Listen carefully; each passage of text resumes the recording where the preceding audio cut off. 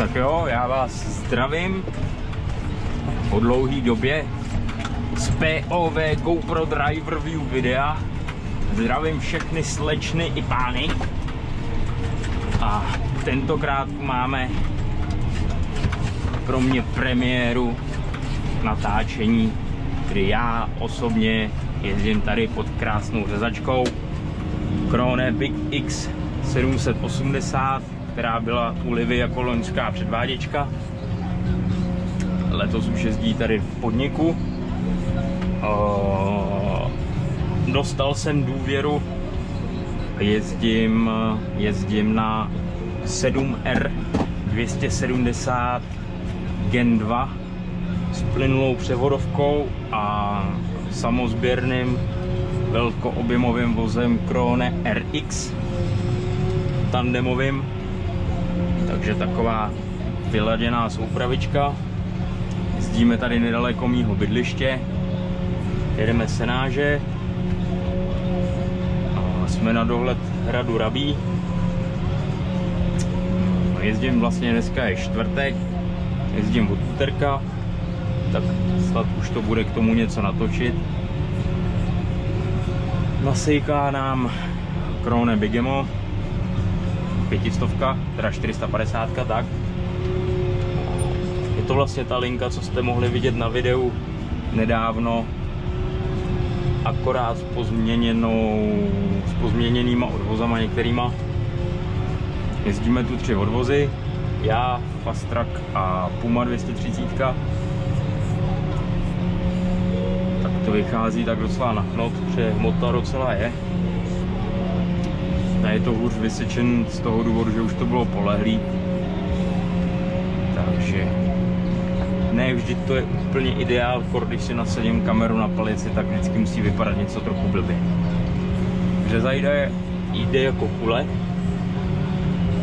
Pěkná mašina. 780 s liftkebem, který se tady nepoužívá, že ho není úplně nutno.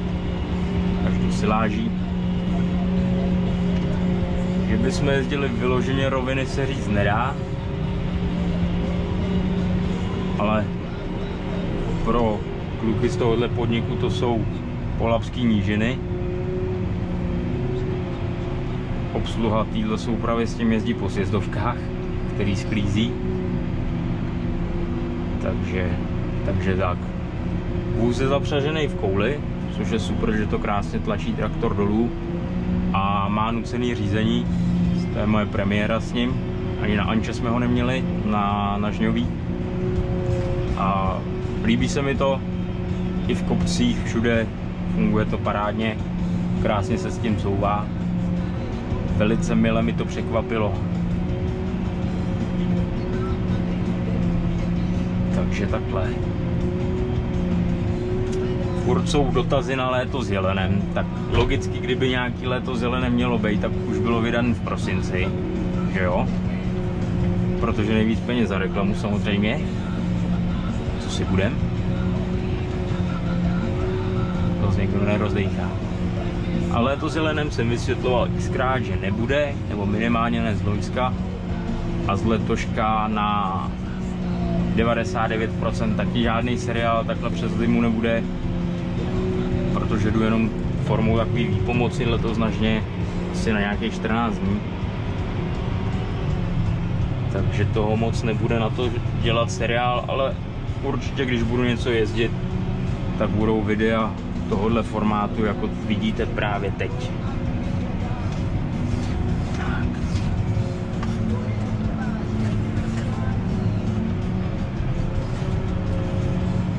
ty kraje se jdou radši pomalejš, Řezačkář je pěkně zodpovědný, hezky to vyzbírává. Uberem songy, to nemusí tak křičeti. Sedmu máme, v podstatě by se dalo říct v plném palbě. S plynoučičkou, Active Seat, od, samozřejmě odpružená náprava. Je tu teda obyčejnější sedačka, což znamená bez odvětr, odvětrávání a bez masáží, což mě teda, masáže mi nechybí, ale to odvětrávání je super věc. To je To se člověk fakt celý den tu prdel na tom nespotí. Takže tak, se vám chvíli otočím, ať vidíte taky řezačku.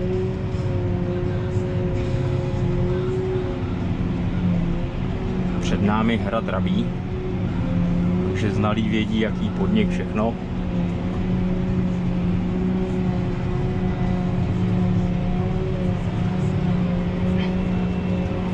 Převodovku jezdím na uživatelský. A klidně ukážu nastavení.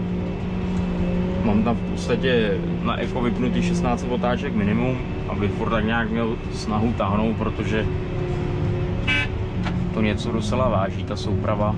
Už sám ten vůz o sobě je těžký a včera tu byla přehánka, že dneska to vozíme s nějakou sušenou rozumnou.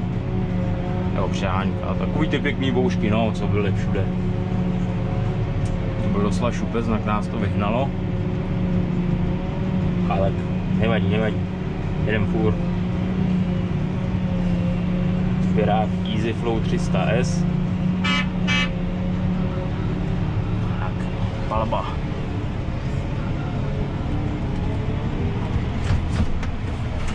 Bohužel cesty jsou tu opravdu jako výborný. V louce x dalších cest, protože lidi jsou prasata, že jo? Takže tady máte vyježený další cesty, že přesto skáčete. No, jsou tu zajímavý sejvozy. A kolikrát je problém tam tu soupravu opravdu narvat bez toho, aby se něco skurvilo. Uděláme spolu točku a ukážu vám potom soupravu i zvenku. Snad teoreticky, ale tady ten odvozy zrovna stíhat nebudem, si myslím. Takže tady se to, no nevím, prostě vám pak soupravu zvenku natočím, to taky vidíte. Dále už nám jede pod hradem Puma, 230 s krampákem, s banditem, asi 700, myslím, že to je. No a tady už je to. To je jako pěkný mosteček, což je v pohodě, ten strom je horší. No. Já ho tu jako nechci nechat, to kroňáčka, nemusím to úplně skurvit já. V těchto polích jsme síkli, když bylo poslední léto s jelenem. Dále vlastně nahoře vznikla ta fotka s tím rábím, s tou 310 s překladákem a zrovna asi moje téčko tam bylo. Kom, oba kombajny už jsou pryč. Bohužel nezůstali v regionu, ale šli někam do Útek. Jeden šel na Moravu a můj šel někam na Kolínsko. Takže někdo má možná to štěstí podle samolepky identifikovatelný, který byl můj. Tak přeju šťastný žně. To víš, tady. Hovno, bandy, Big Buddy, sedmistovka, už taky milu píčoviny. Tak.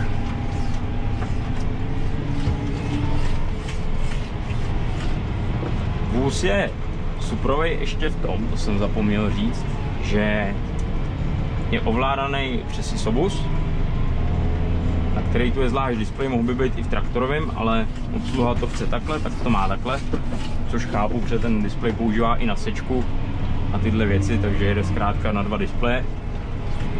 A ještě navíc je před low sensing, což znamená, že já se vůbec nestarám o volej nic, ani skrz nápravu, protože tam je nucený řízení, že jo, a takže všechno si, když zkrátka vůz potřebuje volej, tak traktor ho tam přes, tak ho tam traktor natlačí, takže já si o to vůbec nestarám.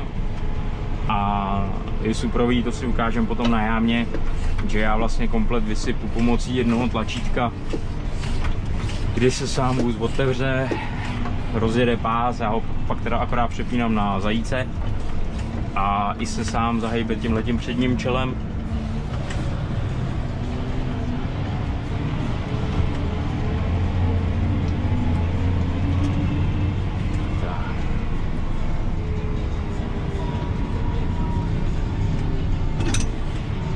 sorry šéfe, já musím.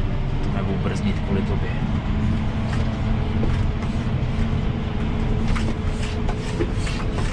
To kočárek, to se musí uznat, že po sedmička pěkná. Já s nima moc zkušeností neměl, párkrát jsem se sedmou jezdil, ale ještě s tou starší generací. A ono se to moc nezměnilo, krom kabiny v podstatě. Co vymyslíš Fordě?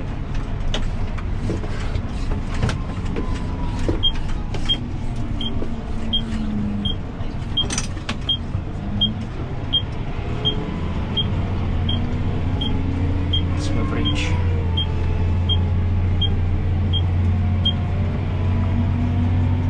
To 40, což za mě naprosto bohatě v těch traktorech stačí. Kor v té dopravě, protože pak máte sníženou no- tonáž. Takže když nejezdíte vyloženě silniční speciál, výkup, podnik, tak vám ta 50 ani nechybí. Jako neříkám, je to fajn, ale někdy je to spíš až o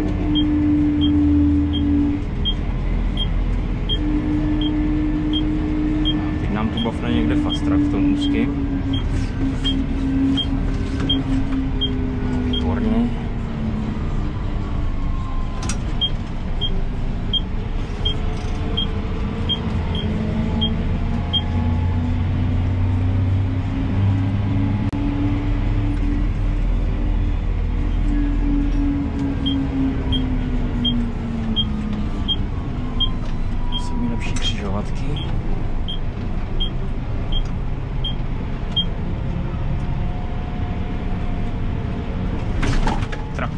vlastně loni ještě jako předváděčka tady na západě ze stromu.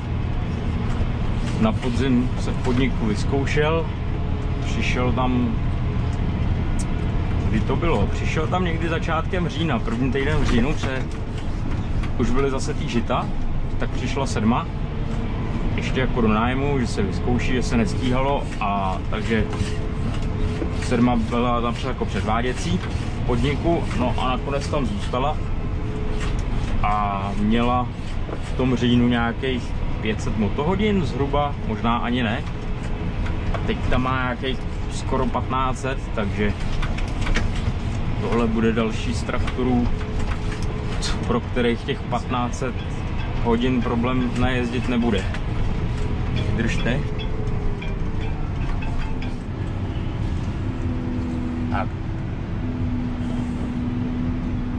Omlouvám se, bude střih. Měl jsem telefonát.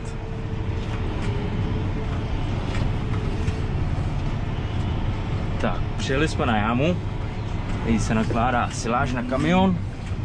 Na jámě šlape fastráček, stará, já nevím, co to je 185 a rozhrnuje a šlape XCMGčko ZL 50G. Takže teď dáme jenom režim vysejpání. Takto, aktivuje se obrazovka vysejpání. Můžeme souvat. No, vidíte, že to nucený s tím se couvá krásně. Tak, dáme vysejpání už. Už se otvírá čelo. Přidáme otáčky. Zapnul se posuv. Necháme trochu odsypat. Tak. Dáme rychlo posuv dopředu a necháme ho v klidku jet těch 0,6-0,7 co to vychází na ten stažený plyn, to vychází akorát. Vidíte, že čelo se samo hejbe, vyhodí nám to z toho předku. Takže já fakt nic nedělám a tu se mi sám krásně vysype úplně do čista. Někdy zůstane akorát tady trochu třeba v tom předku, ale to stačí pustit sbírání a ono to vylítne ven celý, ale teďka je to čistý, teď není nutno. Pak mu jenom zastavím, ten, nechám to vyblejtej nakonec, ať to nemá roztahaný všude a, a bude.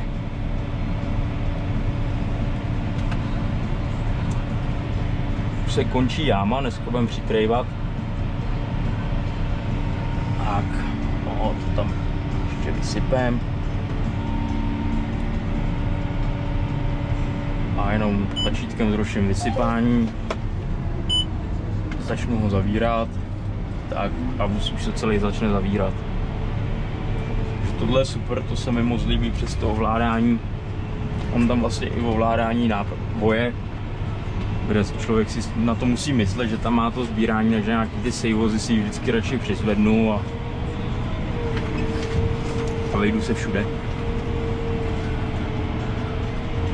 Proti tomu krampáku nebo tomu pronaru, tak ten objem je tam fakt znát, je to parádní návěs nebo vůz, vejde se tam fakt hromada, nevím teďka přesný objem, ale podřezačkou ujedu znatelně nejvíc.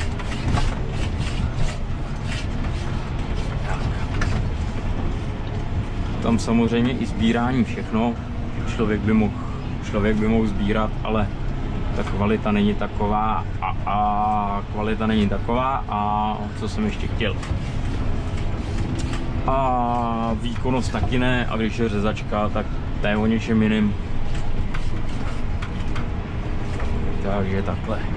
Jo, hodím jenom do silnice, abych si do ní když tak neťuknul něco, když bych byl podřezačkou na silnici, ale to by se stát nemělo.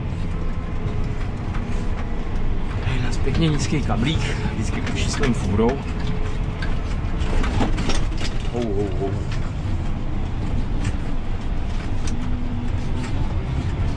I když to mám v tom jakoby režim silnice nebo této obrazovce, tak tady mám krásně ovládání boje, takže je to paráda. Traktor je fakt pěkně vybavený. Vlastně krom této, jak jsem říkal, tu sedačku, tak mu chybí asi už jenom přední náhon, ten tam není, o vývodák, náhon samozřejmě na kola je. Ale tady v podniku vlastně není vůbec nic, co by bylo na traktor na přední náhon. Rozačky jsou tu samojízdný, takže takhle. Oh. Cesty jsou tu opravdu zážitkem.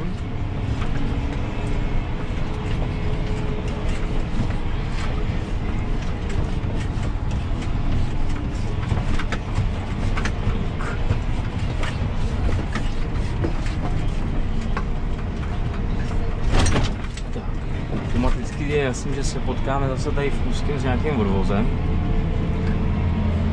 Respektive s Pumou.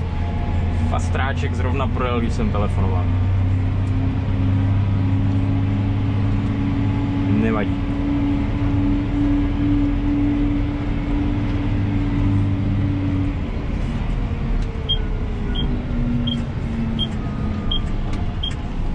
Kurva, vy jste piloti.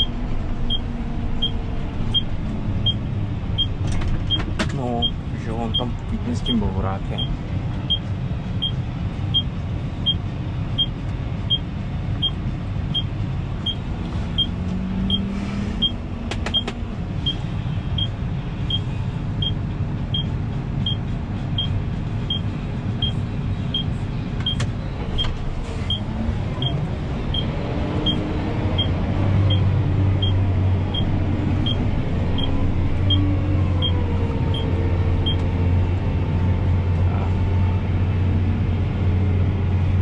bohorákem. jedu po rovině s prázdným, tak mu tam hodím eko, mám tam předvolený nižší otáčky, no on se celkově drží v nižších, ale zase není pak tak táhavej. Nebo když potom jsme stíhali víc, tak jsem jezdil víc na to eko, ale zase, aby řezačka zbytečně nestála, tak to, tak, tak jezdím takhle.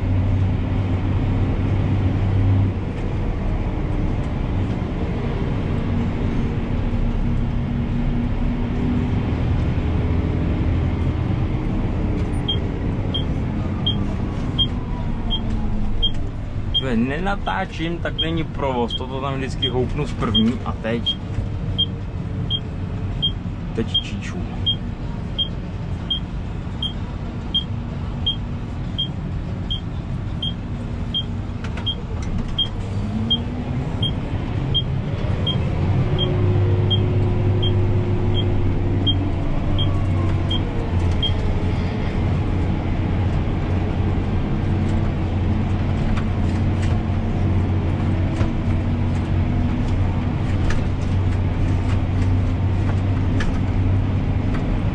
přijde, že tam je ještě fastráček, tak vám ukážu soupravu zvenka.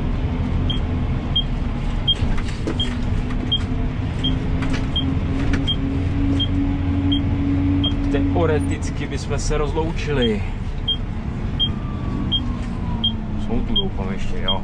Ty vole, stále vzadu. Ne. Tu spousta cest, co člověk, nebo pozemků, kam se fakt člověk nedostane normálně po cestě. Všechno je to schovaný, jedna louka za druhou. Tak se to někdy zajímavě hledá.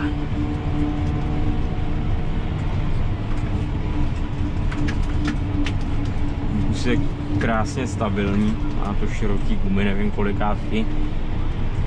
Fakt pěkný kola na tom jsou pěkně je to obutý a s tím nuceným řízením, kdy vás to vlastně i na svahu začne tlačit jako i proti kopci, aby vás to nenakopalo v podstatě, tak úplně suprový. A hlavně ta sedma má váhu už nějakou proti šestce. Máme závaží v kolech i na čumáku. Takže čekám zase komentáře o odbornících, o, od odborníků proč jezdím se závažím. Ale jak říkám, tady jsou to pro kluky polavské nížiny, ale tam, kam se pak jezdí, tak tam by se bez závaží neuprtnul. Hlavně když je potom třeba mokřej, že jo, tak ty louky kloužou. Takže tak. Za mě sedma ideál do tohohle vozu vůbec bych se nebál nějaký 310 spíš, nebo no jo, 310 bych do toho viděl už jenom kvůli tomu 9 litru. Nevím, jak je to dneska s 290. Tady je právě ještě 68. To je přetypovaný, že dřív sedmičky měly i v těchto výkonech 9 litrový motory. Dneska bohužel trend John Deere je takovýhle v motorařině. Nebo to není jenom John Deere, ale zkrátka ten trend takový je, ty nízkoobjemový motory. Takže ten 9 litr těch 310 koní by asi vykračoval trošku jinak. Tak, budeme pojedem horem. Zamáláte fastráčkovi.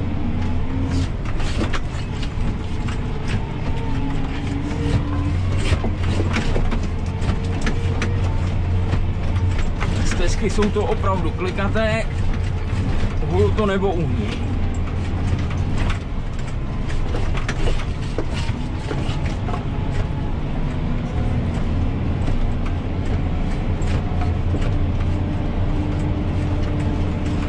Za mě i lepší tato varianta odpružená sedačka než odpružená kabina. Protože fakt je to křesílko je to dobrý, je to dobrý.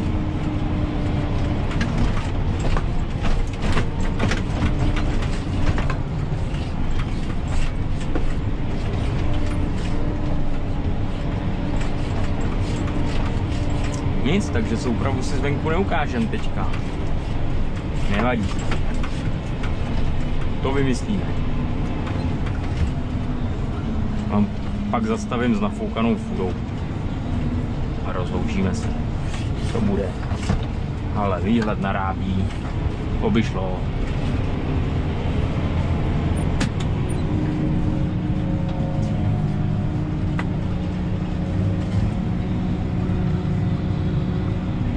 Jezdím vlastně, nevím tu vzdálenost, každý si to odhaduje nějak. Tady jak jsou ty louky takový patvarovitý, tak nemá cenu jet podle nějaký linie, třeba vymáčklých kolejí, co tu měl traktor s náhrabovákem nebo něco takového. Tak jezdím tadyhle vlastně, jak je světlo, tak si ho držím na hranu řádku a, a řezačkář nic neříkal, tak mu to zřejmě vyhovuje. Má komín tak jako John nemá úplně stažený dolů, aby se mu to tam spalo, má ho lehce, lehce od, odklopený, tak tak asi dobrý.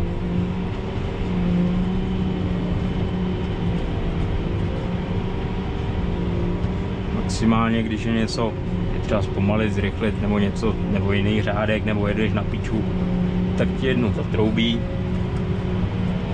A je to. A je houby zlé.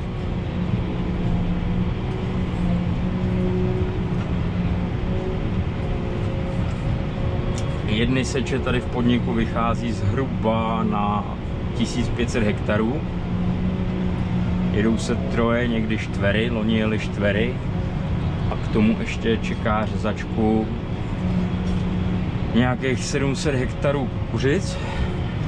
A k tomu ještě jezdí z jara, letos toho bylo míň, ale jo, dejme tomu nějakých 100 hektarů žit někdy víc, někdy míň, 100, 150. Takže řezačka tady jede v podstatě, co začnou první cenáže, tak už se nezastaví. Dojede první, hned skáče na druhý, případně ještě rychle třetí, do toho kukuřice a pak ještě uklidit po kukuřicích louky.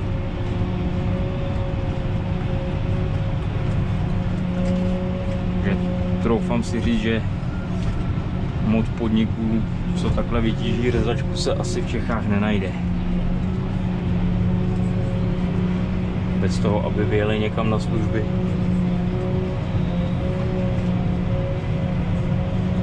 Podnik má bioplinku, taky dojný krávy, dojí se tu snad no, tisícovce kusů, možná víc, možná méně, tyhle čísla fakt nevím.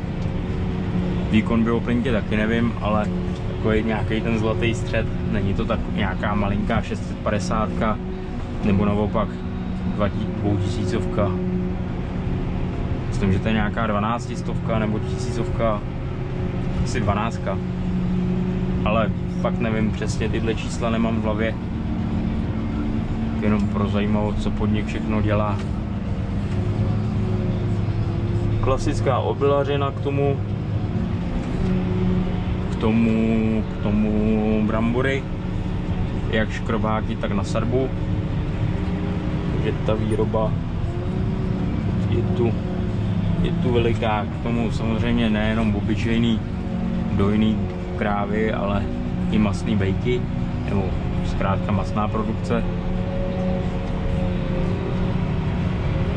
Takže práce celý rok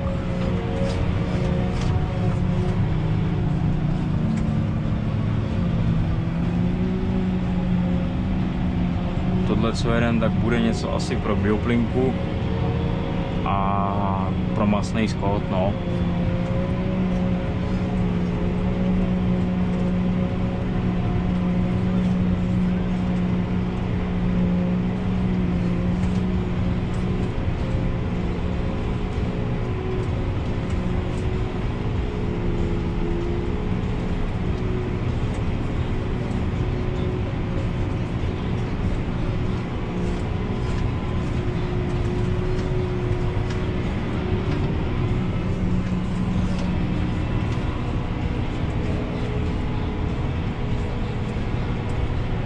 Natočím plný rejdy kvůli týče na to nucený a celkově, abych to tam něco nepokurvil. Tam sice dorazí, ale nemusím to bojebat.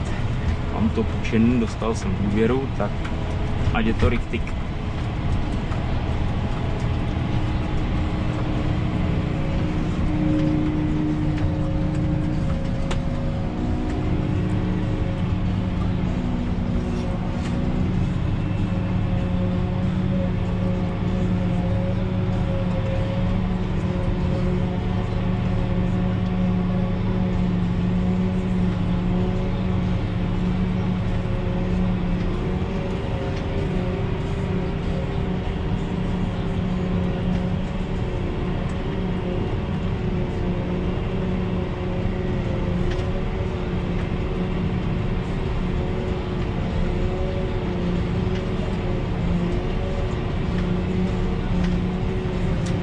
Přemýšlím, co vám ještě říct. Tenhle krásný displej, respektive rádio. Kobereček. Pěkná čistá práce. Rukavice, to není moje, to je obsluhy. Jak to má, tak mu na to nešám. Takže tak. Jo, můžeme pak vylíst, ukážem soupravu zvenku, protože budeme přejíždět potom, já už pojedu na louku jinam, mezi tím řezačka bude předjíždět, tak tak uh, nic pozdržovávat nebudeme, tak to vyšlo hezky.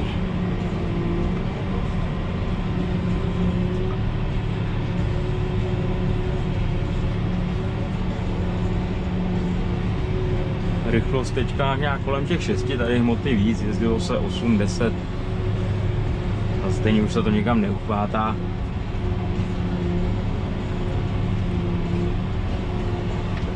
Takže tak.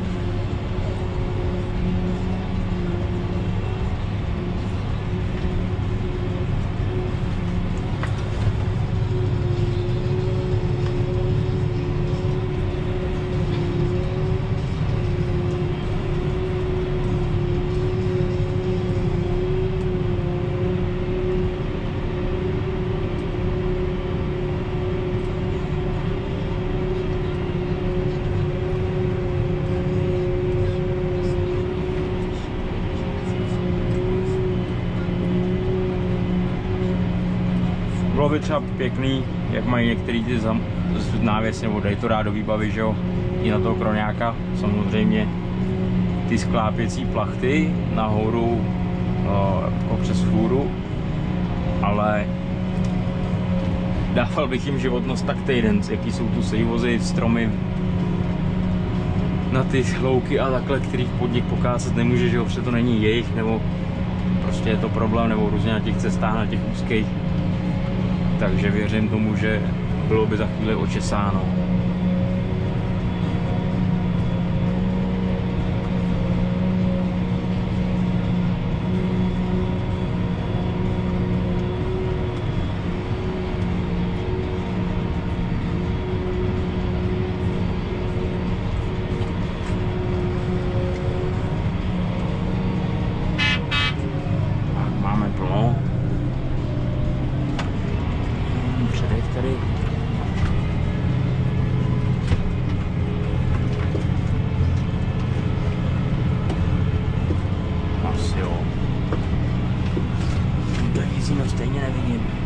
To bude tam.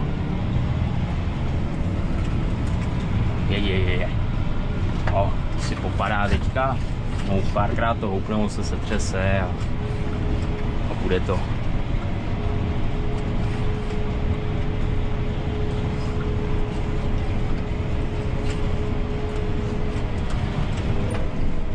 Jdem předek.